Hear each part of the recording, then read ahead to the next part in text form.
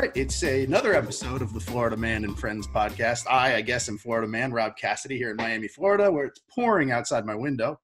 Uh, joined this week by Kenny Blakeney at Howard. Uh, you know, we've got a lot to talk about, I think, with you, and this should be fun. How are things up your way, my man? Man, everything's well. Uh, thank you for asking. You know, being in Washington D.C. right now, with uh, you know, which is the political capital of the world, uh, it's kind of an exciting time. Uh, and it's really neat for our players and I, also our university with Senator Kamala Harris on the ticket. So we're really excited and uh, looking forward to the outcome of this election one way or another. Well, you know, things look like they're going to end well uh, as we record right now. so, well, we'll see. Uh, I guess we don't want to get too much into that. I get an email from work if we start talking too much about that. let's talk a little bit about basketball, though, my man. Uh, how's it going with with with COVID and everything, and, and trying to just get practices in? And you know, how different has this been for you than anything else you've ever done? Yeah, it, it's the most uh, surreal experience that you, you can possibly have. Um, you really learn to appreciate and value uh, the opportunities that you're having uh, right now with everything going on. I mean, Rob, you, don't know from waiting one day to the next, uh, you know, if you're going to have your team, if you're going to have players, uh, if you're going to have games even. Um, so it's definitely unprecedented times. I know that's a, a, statement that's been widely used, but it's certainly true in this situation with COVID. How confident are you as a head coach that you're going to guys are going to be able to crown a conference champion, crown a national champion, and actually get a season in here? Honestly, I think the only way to kind of 100% secure that is to do things in a bubble. Uh, you know, you look at all the other sports, and they certainly have more resources than us. The only sport that was really able to do it at a level where it was 100% uh, kind of sure was the NBA.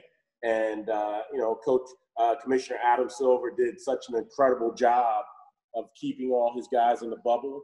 Um, and it just worked out that way where, you know, they were able to move their games forward. Everyone remained safe, uh, no positive tests. So it's a uh, situation that I think is going to be an ever evolving kind of schedule and year with us in college basketball. I know your schedule is getting a little bit weird. You guys are playing in a multi-team event, right, with Duke there as well? We're playing in two multi-team events. We are our first one that we're playing in is the Paradise Jam that's going to be located in Washington D.C. Paradise. Ourselves, uh, Elon. I know the Paradise Jam in Washington D.C. Right. um, that event will be in a, dub, a bubble. Uh, it's ourselves, Elon. Uh, sorry, ourselves, Northeastern, uh, George Mason, and a very very good Belmont team. Uh, so that'll be at the convention center.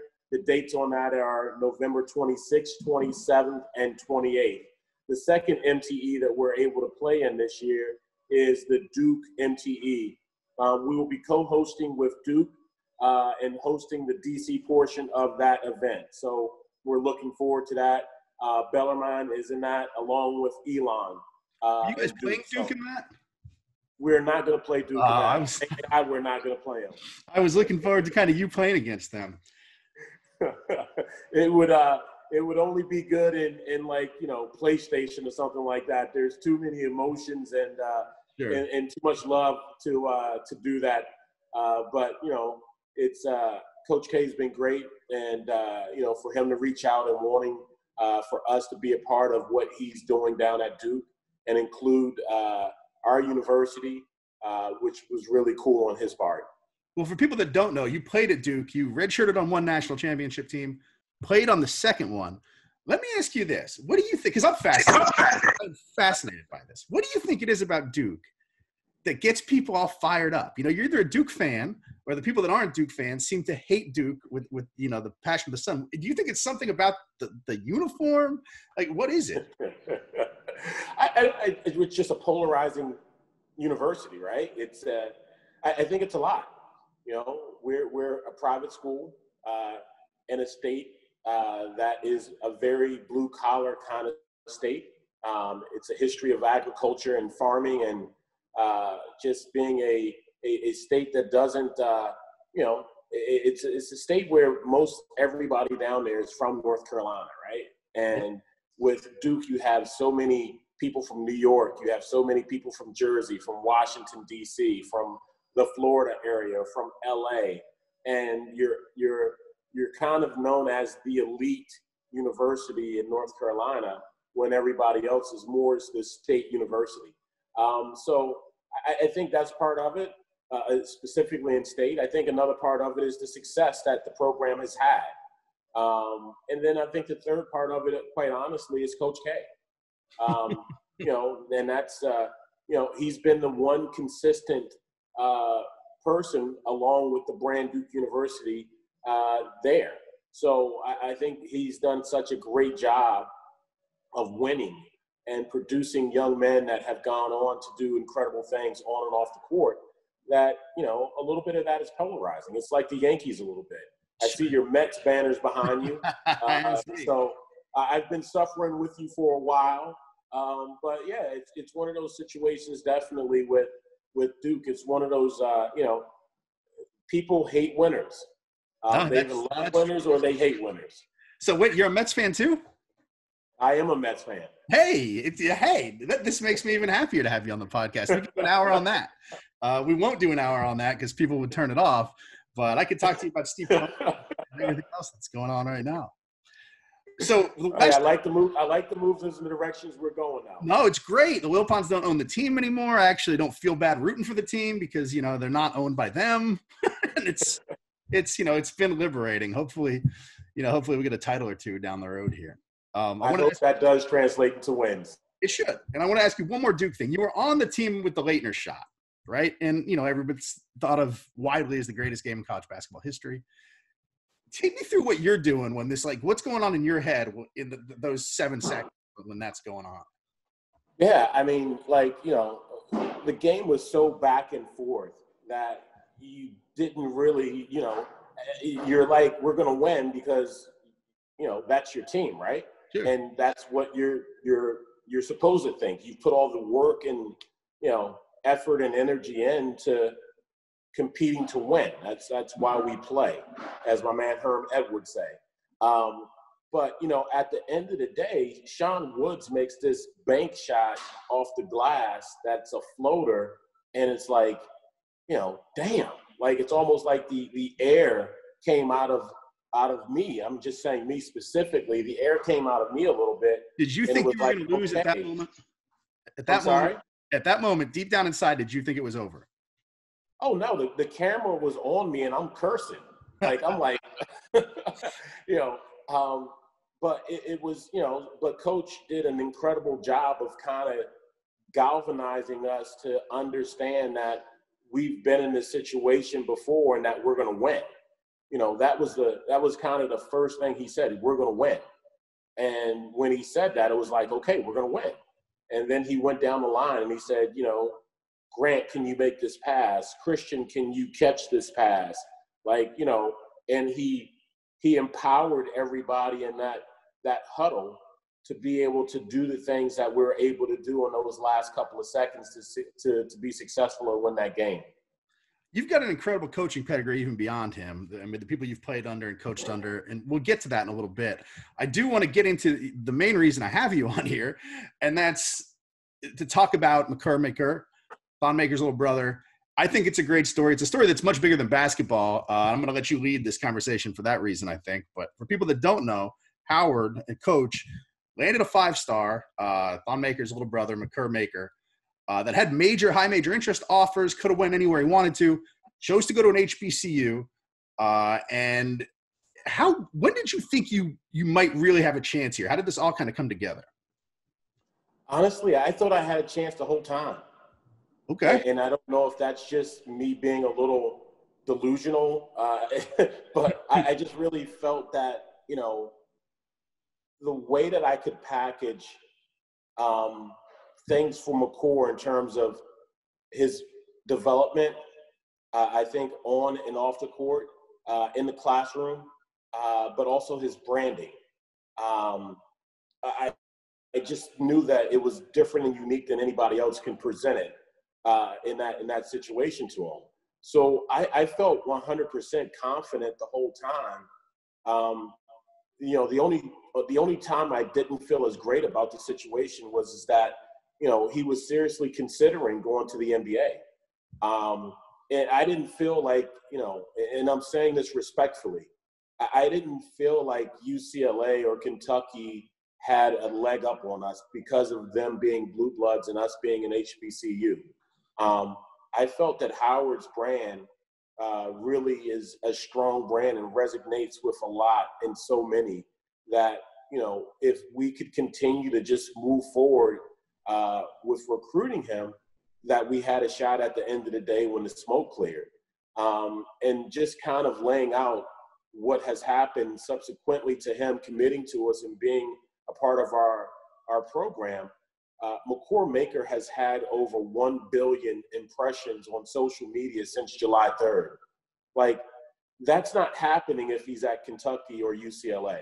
No, not um, at all. I mean, because then it's not a story. It's you know, this good kid went to a blue blood program, which there's eight of those every year. It, it's a 24-hour news cycle story that that's going to just be a little bit of a, a blimp on the on the on on social media. Um, but you know, one billion impressions uh, social media wise, and that equates for him probably up to about four to four and a half million of marketing dollars exposure. Which you know, when he does turn professional, now he has a track record uh, with with you know people that may be interested in using him as an endorser um, because he's a very smart kid. He's a beautiful kid, um, and I, I, you know, all of those things were things we talked about in our presentation to him about coming to Howard University. So it, it the, the pieces of the puzzle kind of fell right into place, to be honest with you reading up on him, and I did a lot before we had you on, obviously, here, it seems like it really meant a lot to him, too, to make this statement that it makes to go to an HBCU in this political climate at this time. Uh, did you get a sense that that really played into it a lot? Yeah, I, I really do. Um, but I mean, honestly, Rob, I think if, if you would have asked Makur um, even before COVID and, and all the you know social unrest that we had, where he was going to go to school, I, I think he would say if he had to choose one place, it would have been Howard. Um, I think it just felt like home for him. Being here at homecoming, uh, there was probably 80,000 people of color on campus. Um, you know, there was a great environment. I don't know if you know much about the Howard homecoming, but it's considered the best homecoming in the country. Um, you know, you got uh, DaBaby performing, you got Kanye West doing a Sunday service. The tradition, the history, and the culture was on uh, full force and, you know, a young man like Makur who understands all of those things and sees the value in them really appreciated, I think, having an opportunity to kind of uh, seeing Howard, uh, you know, for an official visit during that time. But I think also with all the social unrest and everything that has been going on, you know, with the, the, the stuff in our society, it was also a way for him to take a stance um, and be a leader in saying that you know this is a situation that I want to embrace. This is a place where I want to be, and it's important for us to think about these opportunities. But not only important for us to think about them, it's important for us to follow through and do them. Yeah, and I think that's the other thing I wanted to ask you too. I mean, I think, and obviously you would know much better than I do. If this goes well, and it should, I mean, the he's talented as can be, is this something that you could see maybe becoming a little bit more common where you've got young people of color that are athletically gifted that start picking HBCUs, picking Howard, picking other schools like that uh, to kind of follow in his footsteps after seeing how great it turns out for him? I believe so. I don't think it's going to be something that's going to be an avalanche kind of concept where there's going to be everybody making a run for an HBCU, but I think there's going to be a little bit of some momentum that's going to pick up with it. Uh, certainly, you know, all eyes are going to be on our program and on Makur this year to see how this thing works out. And uh, so far, it's been uh, a seamless kind of transition for both. I think he has really uh, embraced uh, our team. He's embraced what we're trying to get done. He's embraced what we're trying to do. He's embraced uh, the HBCU culture of Howard University, to be honest with you. So, um, you know, in saying that, it, it it is. We, we, you know, we've able, we've been able to have conversations with young men in year two that we probably weren't able to have in year one. Um, and we really feel like, you know, coming down the line, we'll be able to attract uh, a few of those young men that are probably four and five star kids, but I don't think it's going to be, like I said, uh, you know, a, an avalanche where everybody's looking to do an HBCU or Howard type of situation. Yeah, sometimes it feels like it takes one, and then you know, I, am not expecting every top ten kid to go to an HBCU either. But I think maybe I agree with you. We're going to see more of it, uh, for sure. When people do tune in to see Howard, and I think a lot of people are going to tune in to see Howard this year, uh, and to see him. What are they going to see out of him? What are they going to see out of Howard? You know, what kind of style of play can you expect to see from him and from for you guys? Yeah, um, thank you for asking that. I, I it, it, allows me to talk about a little bit of some of our other guys. Yeah. Um, but with Makur, we're gonna he, he's so talented and he's so versatile that we're gonna play him all over the court. Um, at times he'll play point guard, and at times he'll be, you know, I, am being serious. At times he'll play point guard, and at times he'll be, you know, in the post. Um, he he's really really skilled, Rob. He can shoot the ball out to the NBA three point line. Um, he's very good at, at handling and getting by by people. Um, he's doing a great job of working on the defensive end. So um, I think his versatility will allow us to kind of be a little dynamic in a way. We have uh, a young man, Steve Settle, who great story. He went to my high school, DeMatha Catholic High School in Hyattsville, Maryland, right outside of Washington D.C. Um, he was a guy when he went to DeMatha, he was five nine as a freshman. And when he graduated high school four years later, he was six nine, but he only weighed 155 pounds. So, um, you know, his body wasn't prepared to really do the things at the next level that, uh, you know, that his game was able to do. So we took, we took Steve, we redshirted him for a year. He put 30, 35 pounds on his frame and uh, now he's much stronger. He's capable. But Steve can play any position from the one to the four for us in the way we play because we play five out on the perimeter. We have another young man, Jordan Wood, uh, a 6'9", 6'10 freshman from San Antonio, uh, Texas. That is a. Uh, I thought he was a steal. Um, to be quite honest with you, he's uh, he can really stretch the defense. He has a high basketball IQ and he's a great decision maker. And he's probably a lot better of a defender uh, than probably when you look at him, people will give him credit. Um, we were able to get Nojel Eastern, who had started 65 games at Purdue, um, played in the, the Elite Eight game, uh, was really, really good there. Uh, started, you know, at a number of different positions. So his versatility uh, and his experience being a winner will really bring a lot of value to our program.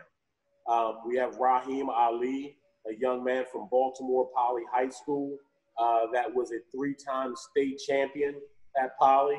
Would have won his fourth uh, championship at Poly and would have been the only player to ever win four Maryland state championships uh, if it wasn't for COVID.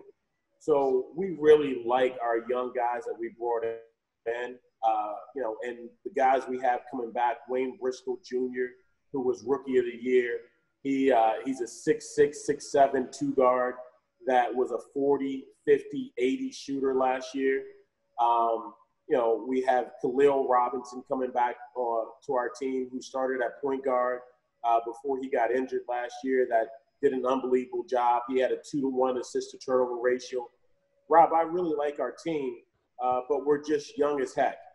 Um, but we're really, really tall. We could start at some point in time or play at some point in time four guys that are 6'9, 6'10 or taller uh, at the same time. And it'll be a new look for sure. I mean, I think some people are, are, you know, people that don't know anything about Howard or haven't listened to this podcast now will look at the four wins will think, oh, okay, you know, this is a one man team now, but you know, they don't understand the other newcomers. They don't understand what you lost to injury last year. Uh, what's the biggest difference altogether right now than the team that you ended last season with? Well, I think like when I got the job last May, um, you know, one of the things that happened was that we had 50 points either graduate out of the program or transfer out of the program before I got hired. So we knew it was going to be a tough year. We knew it was going to be challenging. Um, you know, so we went through the year, I think I was able to start to develop a culture at Howard. I think we were developing uh, what become the future of the program. Um, you know, we played young guys last year, and I knew it was going to be rocky. I knew it was going to be rough. Uh, but I think in doing that, we were able to move the program forward for year two and hopefully year three and four because those guys were able to play 30 minutes a game or 25 minutes a game. I think the biggest difference from year one to year two is we have more depth and we have, I think, a really high basketball IQ. Um, I love the way that our guys are able to pass, dribble, and shoot. The skill level and the basketball IQ of our guys is really, really good. Um, so it allows us to be able to play in a way where guys can trust one another because they know that they're going to make the right play for their teammates um, at that particular time. Wanted to talk about your coaching pedigree. We touched on it earlier. You played under Coach K. You played under Morgan Wooten in high school. You coached under Lefty Driesell. I mean, these are there aren't very many people walking the planet that have that kind of coaching pedigree. You know, what what are those three guys? Is there a trait that kind of that they all have that that all three of these greats have that kind of bring them together? Or are they all different manners of great coach? Yeah, that, that's a really good question. I think that the, the traits that they all have is that they're great communicators and that they're really, really smart. Um, it's kind of funny because Coach Lefty Driesell, and not too many people uh, of the young generation probably remember Coach, but you know, Coach coached at Maryland. He coached at Davidson. Uh, he did some incredible things. He's one of the winningest uh, college coaches in the history of the game. But Lefty had a personality of uh, wanting to sell himself short or wanting people to underestimate him, uh, which was pretty neat, kind of like chess, you know, board kind of strategy that he would play. But Lefty had an undergraduate degree from, you know, Duke, and I think a graduate degree from like William and Mary. Um, so you know, you got this guy that's acting like a, a southern, like you know, uh, a guy that doesn't, you know, like the elevator doesn't go all the way up. And Lefty's a freaking genius. And, and that was really, you know, one of the things I took from, from coach, um, you know, coach K, uh, you know, uh, West Point, uh, you know, Army, like Duke, like such a, such a brilliant, you know, thought leader. Um, and, and, and when I say that, like those two things, he, he's very thoughtful and he's a leader um, and, and, and just such a, you know, insightful kind of like guy that, uh, you know, just sees, sees things just totally different in the way he views, I think, life, people, and the game of basketball. And then you have Coach Morgan Wooten, who's at the time was like my grandfather, but uh, just so wise, so smart, and such a, a articulate communicator. Um, where all of those guys made the teaching part of the game and life lessons that they surrounded the game with very seamless. Are there lefty stories out there? Because he's kind of got a reputation for being pretty crazy. Are there, are there any ones that we haven't heard yet? That... Well, I, I, I think, Rob, what was pretty cool is that, you know, our whole staff would get fired every day. Excuse me? He, he would literally, he'd be like, you know, uh, Kenny, uh, uh, look, look here, I'm, I'm going to fire your ass now. I'm going to fire you. Like, he would literally fire the staff every day um, the first time that happens, do you have to turn to somebody and be like, "Are we really fired?" the first time I was like, Chuck Driesell was on staff. I was like, Chuck, is he serious? Chuck was like, Nah, you're all right. That happens. but uh, Lefty was amazing. We would we would have we would have meetings that started at nine o'clock in the morning, that would end at like three o'clock, and we would have practice at like three thirty. You know, so it, it, what are you talking about? From, what are you talking about from nine in the morning until three thirty? You guys talking about the point guard's grandma, or what? What, what, do you, what do you get? What do you get into here? He was such a detailed person that he would want to go over everything. But I think, you know, with Coach Coach Lefty, one of the things about him was that I, I think he hated to be by himself, and he always wanted to be around people that he liked or loved and that he could trust. And that was just a way of him you know, wanting to kind of show us in a way that, you know, he was he was inclusive with us and down with us. And uh, it's just a just a kind of way I think for him to just be around people. He had uh, you know, he and his wife have a great, loving relationship. And, uh, you know, but at the office, he wanted to be around the guys. He wanted to be one of the guys. You also, Jay Bilas was a, a coach on that Duke team, correct? Yes. him continuing on in coaching, or did you see him becoming a clown like me? or did that take everybody off, off, off guard? Well, I, I don't know how many people know this, but Jay was an actor growing up in, uh, you know, the hills of California. He was a theater uh, kid? I'm sorry? Like a theater kid, like an actor, like a stage actor? Jay was in a movie, and it was a sci-fi movie, and I, I, I kick myself right now that I cannot uh, know the name of this particular movie, but uh, he was he was one of the lead actors, and so so Jay always had had this personality uh, about him where where he wanted to be in front of the camera, and uh, so you know it was one of those things for him uh, that I think was a natural progression of hey, getting my MBA, uh, going to you know law school, and then you know being in front of uh, the camera, which he's become you know the face of ESPN college basketball, and uh, he does one of the best jobs of anybody in the country reporting the game uh, for ESPN. Let me ask you this: if you're you know you're on that team you find a sci-fi movie with your assistant coach do you guys just roast him like how did you guys find this thing I, that's a great question. I don't remember how we found it, but it was like we, you know, because back then it was, it was, you know, you're watching a VCR, like you're not. Somebody uh, had the physical tape. Yeah, so it wasn't like you could actually Google this at the time and say like Jay Bilas, you know, movies. It was like you you you find this thing at like you know the blockbusters on a Saturday night at like you know twelve o'clock at night when. so what kind of movie was it? Is it is he playing like an alien or like who's he playing here? Is he playing He's like a, a total alien in the movie? He's a total alien in the movie. Rob, I can't. I it, it just I, I wish I could remember the name of it. I'll find it. I'll do everything I can to find it. And we'll play a clip of it. All right. No, that would be great. That would be great. All right, a couple more things. First of all, I've been doing this thing with every coach I have on the show. We had Bruce Weber on last week. I did it with him. I like calling almost got him. Are there recruiting stories about guys that that you feel like you almost had, either whether it be at Howard or elsewhere as an assistant, that got away and ended up being pretty darn good? And, and let's talk about those stories. Yeah, I, I think uh, you know one for me is the young man Pat Connaughton. Okay. Pat Connaughton is from uh, you know he plays with uh, I think Pat is with Portland Trailblazers right mm-hmm. now. Uh, but Pat was from the area around Harvard. Uh, he went to a high school called St. John's the Baptist, and Pat was a uh, a pitcher, uh, a big time pitcher. He got drafted by the Baltimore Orioles. Okay. I saw him after his sophomore year, going into his junior year, uh, down in Florida.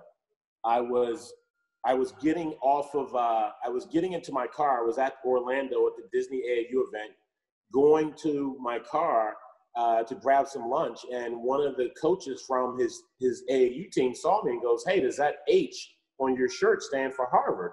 I said, "Yeah." I said, "My name's Kenny Blakeney. Nice to meet you." He goes, "What are you doing right now?" I said, "Going to get some lunch, but what's up?" He goes, "Can you come watch our game?" He was like, "I." Think we have some kids that you would really like. So I was like, all right, I went and watched the game. And it was against a, uh, like the Arkansas, you know, really good wings or something like that. Arkansas wings. And Connaughton had like 43 points. And I'm like, okay, is this real? yeah. So I, I stayed, I stayed and watched the next game. He goes off for like 45. And I'm like, I called Coach Amaker. I'm like, Coach, there's this kid, man, that's like incredible. Like we got to be all over him. So I recruit him all that year and we're in a great place with him because nobody really knows about him. He's playing his AU games in the back gym. He goes to a school that nobody knows about, and you know we're in a great position. So the following summer, his senior year, he comes to our team camp, our, our, our elite camp at Harvard, and he just finished playing baseball, and he stunk the joint up. Oh no! And Tommy's like, "This kid can't play." I'm like, oh. later on in the summer, he gets his legs under him. He he's got Kentucky, he's got Florida, and he ends up going to Notre Dame, gets drafted, and he's been in the NBA now for about six or seven years and done has done a really good job. All right, I got two things now. One, even as me, a guy that, that's not recruiting players, but a guy that is evaluating kids, and you know, people. If somebody comes up to me in a parking lot and is like, "Come see these kids," I think you'll want to rank them. I'm not going in there. there's, there's, what told you? Like, I would find an excuse to not, because usually, in my experience, when somebody's approaching you in a parking lot to do something like that, it never turns out well. What what yeah, was it I mean, that, quite, kind of quite, quite honestly, that's just kind of the guy that I am in terms of the the work. Um, you know, I now you call me lazy. no, no, no. I, I've just been the type of guy that has really tried to uncover every rock that I could um, and everything that I've ever done. Like because I've been at schools where you had to be a little bit different and unique. Um, you know, it's it's been one of those things that I've really have had to just do things in a way that uh, you know, if a guy at the in the parking lot says, "Hey, come watch a kid," you know, I'm gonna go watch that kid. Hey, well, it turned so, out well this time. Did you ever did you ever give and I told you so to Amaker about this or? I, I, I wouldn't do that to him, but I, I, I you know I would see Connaughton or, or we we'd be watch, like watching Notre Dame or something like that, and I'd just you know shake my head or just kind of look at him sideways or something like that. uh, the last thing I got for you is is another standard question I've been asking everybody too.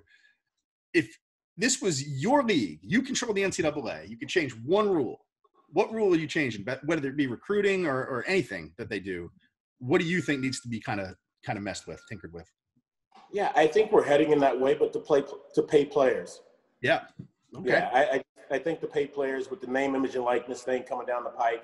Uh, I do think players should be compensated. They are the talent uh, that brings in a lot of money to a lot of universities and businesses and companies. Uh, so I do think that is something that uh, you know we should take a look at, it, and we are taking a look at it. I'm glad that it's coming down the pike in that direction. Hey, Kenny, I got to tell you, you're one of the few coaches that believes that, and it's refreshing, man. Like you know, I believe it too. Obviously, I think anybody that's a fan of the sport believes it. You don't hear a lot of coaches say that out loud for some reason. I've been saying it since I was a student athlete, and I, I say it respectfully. But I just remember, you know, Duke uh, bookstore, and I wasn't good enough to be a guy to get paid right? But you know, I remember living with Bobby Hurley uh, when he was a senior, and we're scraping up nickels to you know figure out a way to go enjoy our Friday or Saturday night, um, and we're literally scraping up nickels. Um, so when when you know you're in college and a bookstore is making you know millions of dollars off of T-shirts, and we're scraping together nickels to try to you know have a good Saturday night, you know those those thoughts certainly cross your mind. Sure, um, they should. Yeah. Yeah, and I mean, you know, like you're you're at Duke in the, in the early '90s, and you're playing every game on national TV. Um, you know, you have those thoughts of like, hey, like this. Everybody's getting rich except for you. Everybody, everybody's eating. Yeah, except for the people out there actually playing, right? Yes. Yeah. So I think for me, that would be the one rule. All right, Kenny, I appreciate your time. It's Kenny Blakeney of Howard man, this has been great. I'm going to be, you know, wishing you well and, and watching. And man, I, you know, I wish the best for you. This is uh, this has been great. Thank you, Rob. I appreciate you so much, man. Anytime. Let's do it again sometime. Seriously, Ali. I would love it. I would absolutely love it. We can talk some baseball also. We will. We'll, we'll, I'll start a Mets podcast and we can do it. I appreciate you. there you go. All Take right. care. Man. Thank you. Yeah, absolutely. See you.